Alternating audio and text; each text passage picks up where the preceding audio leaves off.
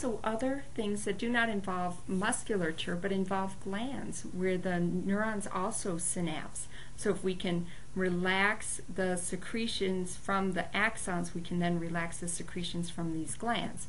So there is a, a secretory, hypersecretory disorder called hyperlacrimation, meaning uh, people will tend to tear up for no particular reason.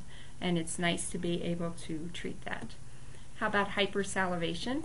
Now it's much cuter show, to show a dog drooling uh, than to show a human drooling, but sometimes this is a very serious issue, so uh, injections will be made to the salivary glands with Botox to slow down some of the salivation. And also then there's also uh, what's called hyperhidrosis, which basically means a lot of sweating. You get sweaty palms, sweaty feet, uh, way sweaty underarms. Hey, fellow, you're not going to make the sale or get the girl with an armpit like that, are you? So um, it's nice to be able to treat these disorders. I shouldn't joke about it because it is a serious issue. So for cosmetic uses, we are very well aware of this. Is really since about 2000 uh, been used widely. Um, a lot of people forget that this is still a toxin that you're injecting, so you do need to be careful. But some other things uh, it's used for besides those worry lines between your eyebrows um, is to reduce this gummy smile. And what they do, of course, is to relax the muscles here and here so it's not pulling up on that upper lip quite as much.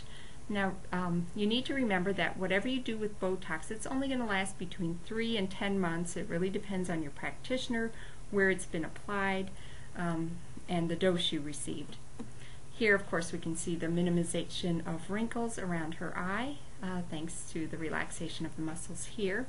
And over time, the wrinkles might fade away because you're not repeatedly using them.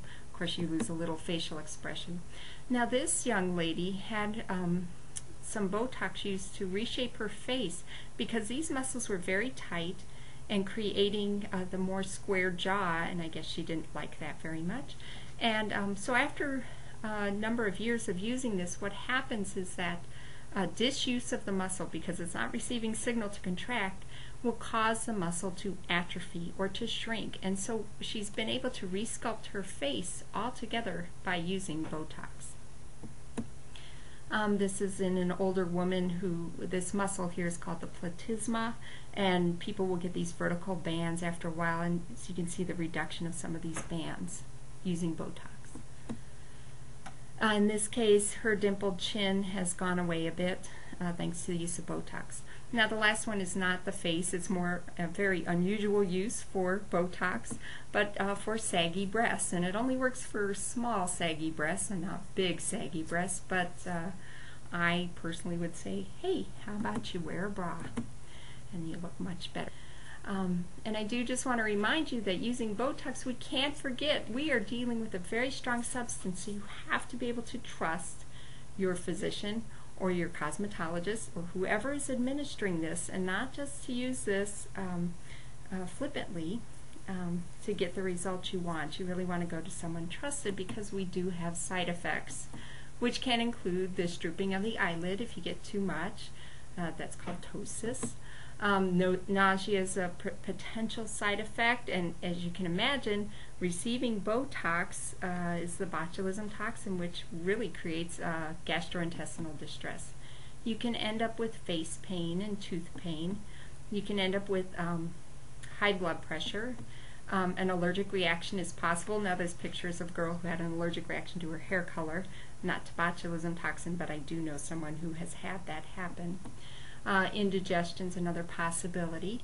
And uh, in more severe cases, you can end up with extreme muscle relaxation. Yes, I wish I could say the side effect was to become something cute and fluffy that everyone would just want to go, oh, but really this is supposed to represent muscle relaxation to the extreme. So thank you.